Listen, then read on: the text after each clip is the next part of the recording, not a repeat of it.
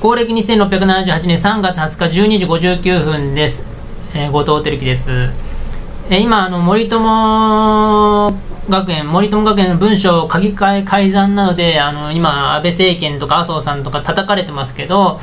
えー、どうしてこういうことが行われてるかというと、もう、単純な話を言えば、えっ、と、真相、事の真相は、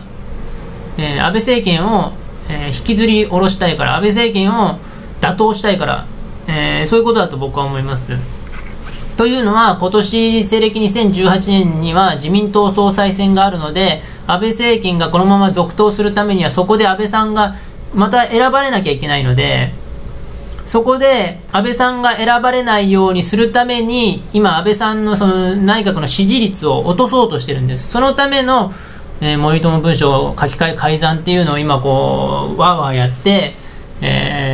安倍さんのイメージ安倍内閣のイメージを悪くして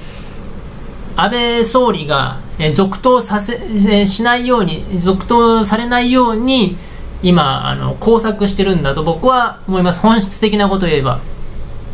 でまあ書き換え改ざんがあったのは、えー、調べてみないとわからないですけれども、えー、ともかくも、えー、なんか怪しいことなんかや怪しいイメージをその安倍内閣、安倍政権に植え付けさせて支持率支持率を低下させ、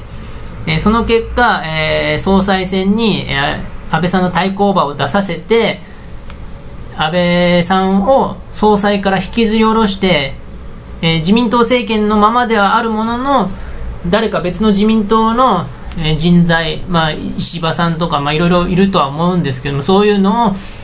まあ誰かわからないですけどそういうのを立てさせようとそういう内閣に変えようというふうに、えー、試みてるんだと僕は思います。あのまあ去年、えー、自民党が勝ってしまったがために4年間は自民党政権っていうのは、まあ、基本的には硬いのででそのその中で安倍政権を打倒するには総裁を安倍安倍総理を変えるしかない安倍総裁を変えるしかないという、えー、戦略に、まあ、野党もっと広く言えば反日勢力、日本を弱体化させようとしている勢力は考えて、えー、そういう方向で、えー、攻撃してるのかなとは僕は思います、単純な話。で、まあ、森友学園のその文書書き換え改ざんがどうなのかっていうのを調べてみないとわからないですけども、うん、だこれが安倍さんとかね、麻生さんがこう直接指示して、隠蔽しろみたいなことをやってたらアウトですけども、そうじゃなかったら別に何の問題もないことなのに、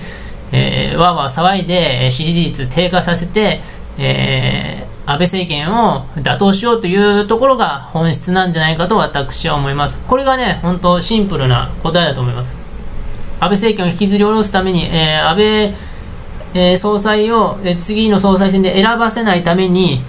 えー、今こういう工作を今の段階、まあ、半年後ぐらいですかね、えー、総裁選っていうのは、